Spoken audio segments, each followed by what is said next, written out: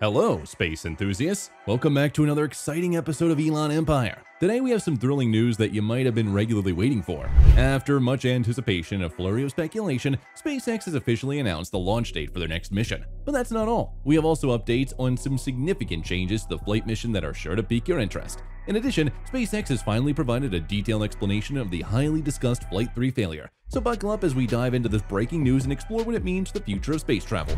First, let's dive into the news that you're almost all excited for, the new launch date from SpaceX. Over the past few weeks, we've seen a whirlwind of updates and changes to the launch schedule, creating a mix of anticipation and confusion.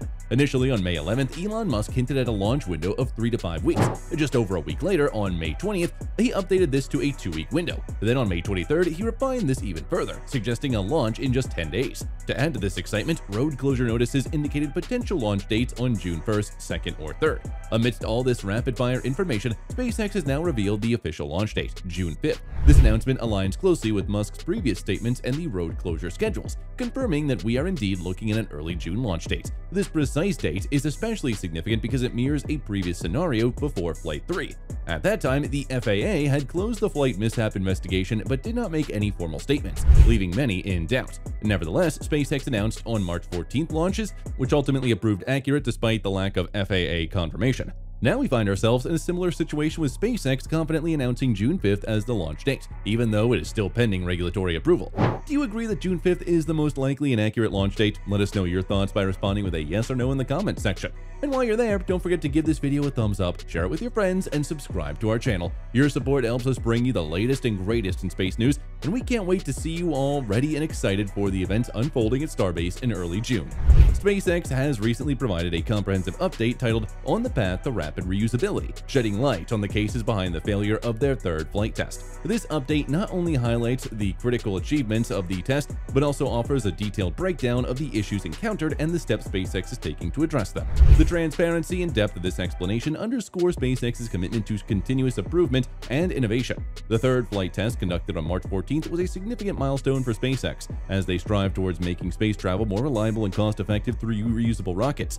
During this test, though, all 33 engines of the Starship and Super Heavy booster ignited successfully, marking a full duration burn during ascent. This achievement alone was a testament to the robust design and engineering behind the spacecraft. Additionally, the hot stage preparation was executed flawlessly, making the second successful ascent to the Super Heavy booster. After separation, all six Raptor engines of the Starship ignited and performed a powerful thrust, completing the vehicle's full duration ascent burn. The Starship also managed to test several key functionalities, including the payload door and fuel transfer systems, before beginning an impressive re-entry.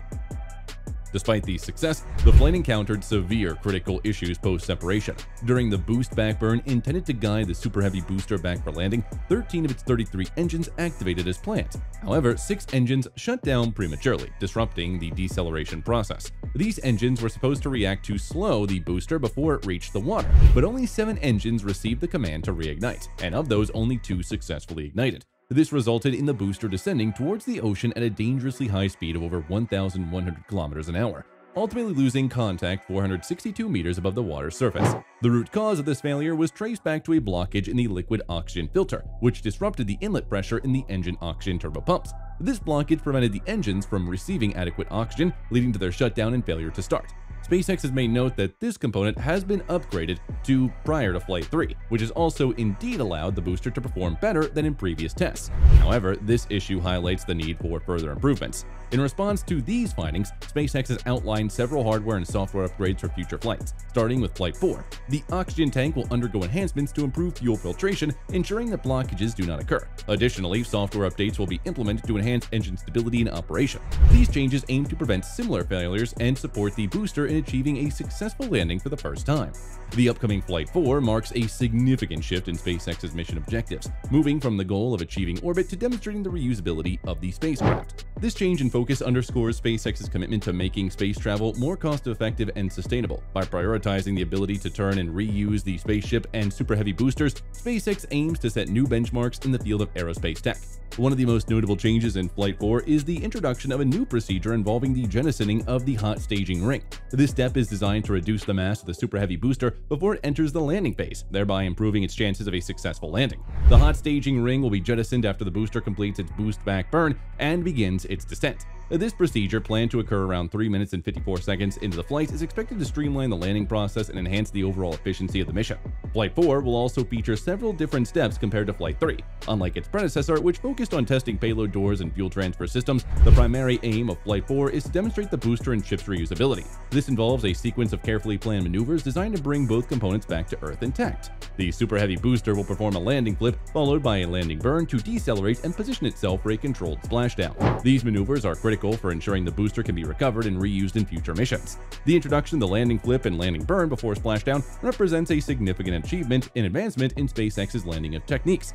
During the landing flip, the booster will reorient itself from a horizontal to a vertical position, preparing for the final descent. The landing burn, which involves igniting the booster's engines to slow its descent, will further ensure a soft landing. These steps are designed to minimize impact forces and protect the structural integrity of the booster, making it viable for reuse. Anticipation is high for this historic landing attempt. If successful, it'll be the first time SpaceX achieves a successfully fully controlled landing of the Super Heavy booster and the Starship. This milestone would not only validate SpaceX's engineering innovations, but also pave the way for more frequent and cost-effective launches. The ability to reuse spacecraft components is a game changer in the aerospace industry, potentially reducing launch costs by a significant margin and making space more accessible. Recently, NASA's Administrator Bill Nelson addressed a Senate hearing where he discussed pressing concerns regarding the ongoing space race with China. Nelson emphasized the strategic importance of maintaining a sustained presence on the moon, which is crucial for future missions to Mars. This geopolitical aspect adds a layer of urgency to the Artemis program, as China continues to make significant advancements in lunar exploration efforts. However, despite these pressures, Nelson made it clear that NASA's commitment to safety remains paramount. During the hearing, Nelson stressed that the Artemis 2 and Artemis 3 missions will not be rushed to meet arbitrary deadlines. The safety of the astronauts takes precedence over the schedule. Artemis 2, which aims to send a crew around the moon, has already experienced a nine-month delay. Initially planned for an earlier launch, it is now slated for September 2025. Similarly, Artemis 3, which aims to land astronauts on the lunar surface, has been postponed by at least a year to 2026. These delays highlight NASA's cautious approach, ensuring that all technical and safety issues are thoroughly addressed before proceeding. One significant factor contributing to these delays is the unexpected erosion of the Orion spacecraft's heat shield.